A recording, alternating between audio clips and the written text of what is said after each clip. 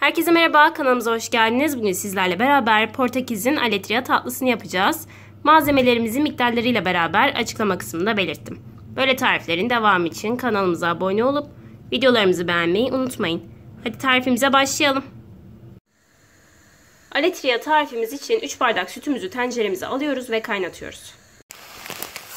Kaynayan suyumuzun içerisine yarım paket tel şehriyemizi ilave ediyoruz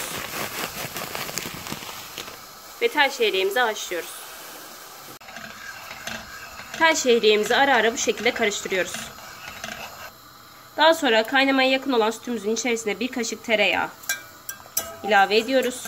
Karıştırıyoruz. Karıştırırken yarım fincan şekerimizi ilave ediyoruz. Limon kabuğu rendemizi ve vanilyamızı ilave ediyoruz.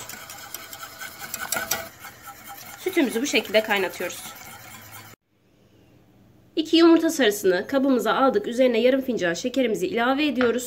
Ve yumurta sarılarımızı güzel bir şekilde çırpıyoruz. Haşlanan tel şehriyelerimizi sütümüzün içerisine ilave ediyoruz. Ve karıştırıyoruz.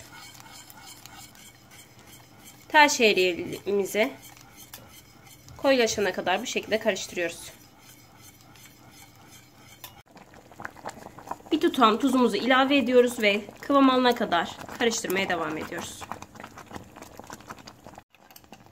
Kaynayan ve kıvam alan karışımımızın içerisine çırpmış olduğumuz yumurta sarılarımızı ilave ediyoruz. Hızlıca bir şekilde karıştırıyoruz.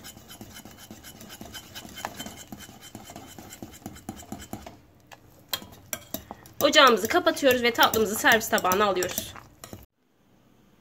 Tarçınla servise hazırladığımız Portekiz'in aletria tatlısı hazır. Deneyen herkese afiyet olsun. Kanalımıza abone olup videolarımızı beğenmeyi unutmayın. Hoşçakalın.